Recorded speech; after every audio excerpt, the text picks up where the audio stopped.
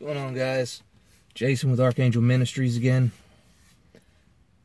I know I'm running behind on videos, is what it is. Hopefully, I'll be able to do some of the knife and firearm videos when I'm off this upcoming weekend, but uh, we'll see what happens. I just wanted to give you guys a heads up because well, there's a lot of stuff going on, and, you know, sitting here at work tonight. Sorry, a lot going on. But I was sitting here at work tonight, you know, manning my post, and forgot that I completely neglected to uh, touch on a subject that's vitally important to uh, situational awareness. And that is trusting your instincts. Yeah. Most people don't understand it, but we were created. We're not just a physical being, we're also a spiritual being. And, you know, God endowed us with an innate ability to sense when danger's around us or when it's near. You know, and that's one of the most important things about situational awareness. You know, some people call it paranoia. I call that foolishness. You know, I mean, uh, just because I'm paranoid don't mean people ain't following me. You know, uh, there's a lot that goes on in the world. For example, right now in a lot of the major cities, even here in Memphis, it's gotten to the point to where you have thugs, and not always thugs. Sometimes are these are people just trying to provide for their family and they ain't got no money left. So what do they resort to? They resort to crime. But they're holding up women and innocent old ladies and older couples when they're leaving the grocery store with their groceries and stuff at gunpoint and stealing the food these people just bought. You know, it's getting dangerous out there, and you can't afford to not be on your guard. Call it paranoia if you want to, but I'd rather have someone let me paranoid and me be on alert to prevent something like that from happening than for me to go along my life tra la la la and be caught off guard. Out of step. Wrong place, wrong time. You know? That's never good. And those situations can end very, very badly. You know, people never consider that fact. So anytime you're at one of these places, anytime you go to the grocery store, now, you're going to have to be on point. You're going to have to be on guard because things are getting worse. It's like I said in the other videos, you can sense the change in the air. The fear, the panic that a lot of these people have. You know, their funds are running out, and if the government's talking about they're not going to get any kind of relief check for uh, 20 weeks, dude, that's a third of the year. It's almost half a year. You know? That's a lot of months. How these people they ain't got no money and the states are broke and can't afford to pay for their uh, unemployment fees and stuff. How are they gonna live? What do you think they're gonna resort to? They're gonna start rioting. They're already starting to rob people.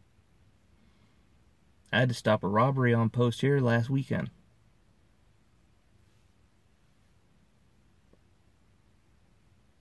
Is what it is. You can't afford to be walking around with your head stuck in the sand anymore. Cognitive dissonance and uh, normalcy bias aren't going to save you. Simply not going to happen.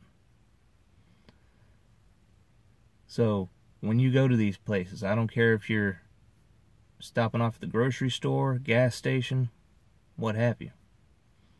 First thing you do when you get out of the car, actually, before you even get out of the car, first thing you do when you park you look around, you check your six, you do a 360 around your entire vehicle.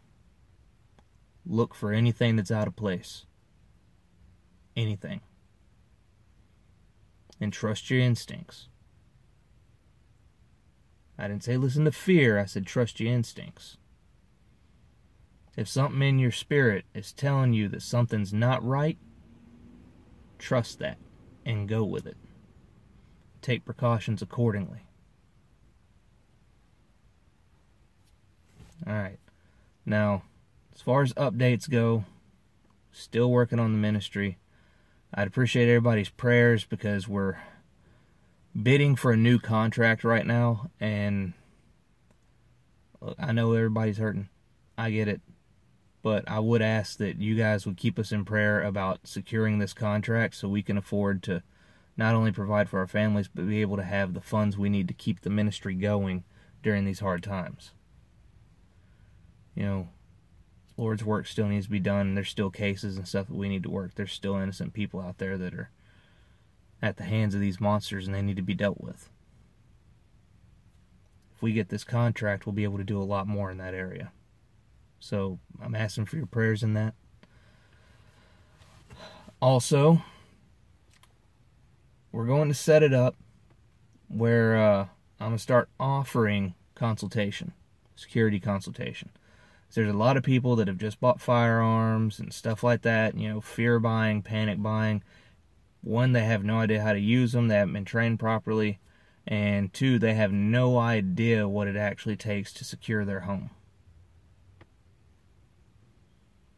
You know, I'm not sure how we're going to do this just yet as far as, you know, payment or, you know, doing it out of ministry or whatnot. We're we're working on that. We're trying to iron out the details. But uh upcoming soon, we are going to be offering security consultation for individuals, for your family, so you can watch over and protect your establishment, and your state, whatever else you have there. Also, my wife is getting ready to do either a live stream or at least a few YouTube videos posted under the Archangel channel. We're not sure exactly which one just yet but uh, it's going to be offering training and the type of training that any of the girls out there that want to get involved with doing this type ministry work, you need to know this stuff. So, any of you people watching this, you know, uh, do me a favor. If you yourself are one of the girls that are interested in doing this type of outreach, or you know someone that is, please go over to our Facebook page. All right, all you gotta do is search in the little search thing, you know, on Facebook at Archangel Ministries 22. It'll pop us right up.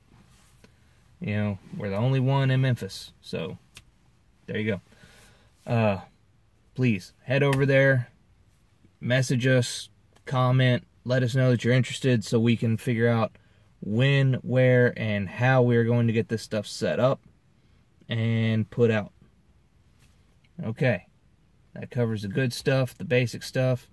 And uh, yeah, like I said, I know I've been promising y'all videos as far as blades and guns and basic firearms, that kind of stuff goes.